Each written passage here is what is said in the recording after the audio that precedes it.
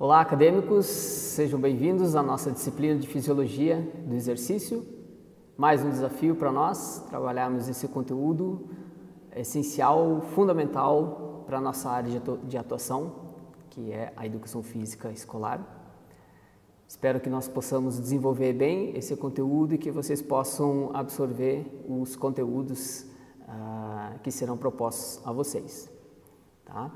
Ela se torna importante porque ela vai, nós vamos passar a entender o nosso organismo, o nosso corpo e como ele funciona, como ele responde aos exercícios, às atividades, às práticas corporais que nós é, realizamos. Se, se, já nesse momento em que estamos, de certa forma, sem uma atividade mais intensa, estamos relaxados, estamos em repouso, o nosso organismo ele já tem um determinado ritmo.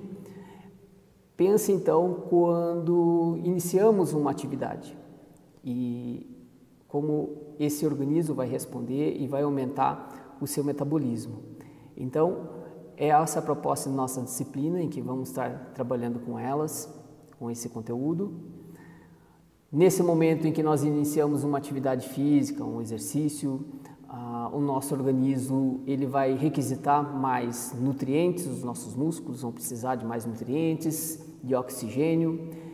Entra em cena a adenosina trifosfato, conhecida como ATP, que é responsável por fornecer energia para a contração muscular.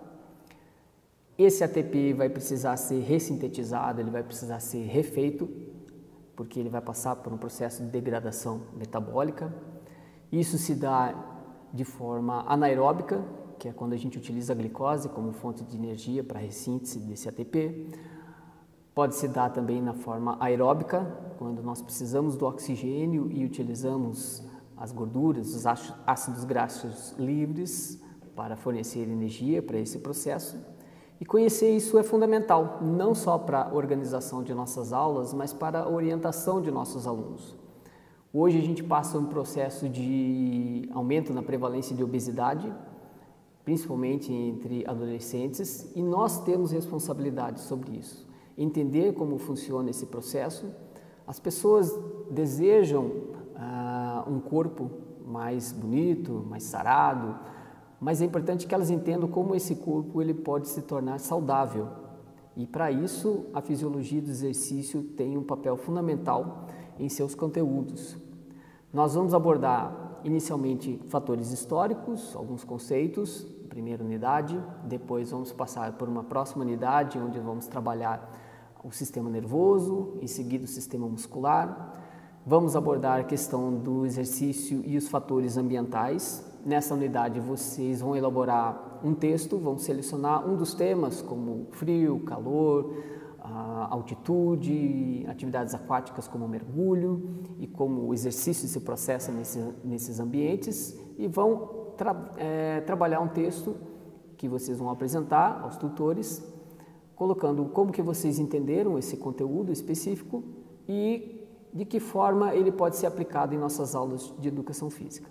E por fim, na unidade 5, vamos trabalhar com a fisiologia do exercício e as populações especiais, pessoas que pro, pro, possuem problemas é, pulmonares, cardiovasculares, uh, distúrbios ortopédicos, passando até pela questão do envelhecimento.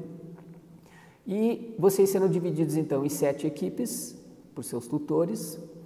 E no dia da nossa aula presencial, vocês vão apresentar um seminário para os demais membros da turma referente a esse tema selecionado para a sua equipe.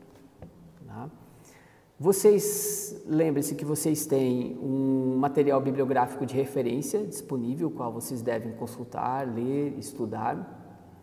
Vocês também, na, no mapa da disciplina, terão os links ah, de vídeos da internet que vão poder auxiliar também vocês na absorção desses conteúdos.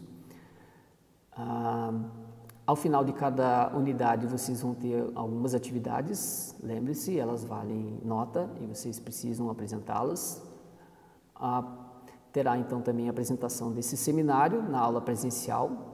Então, essa aula presencial ela não é optativa, ela deve ser, de certa forma, obrigatória, onde vocês terão uma nota ah, tanto pela apresentação quanto pela presença e participação durante a apresentação dos seminários dos seus colegas. Vocês também terão é, disponível um e-book que serve de auxílio para a compreensão dos conteúdos das unidades. Vocês terão um link da, de cada unidade para o e-book. E teremos o nosso chat semanal também, às segundas-feiras, às 19 horas para que vocês possam estar dialogando com o professor na disciplina e tirando dúvidas. Tá? Esperamos então que vocês tenham um bom aproveitamento dessa disciplina e que possamos caminhar junto na absorção desses conhecimentos. Valeu!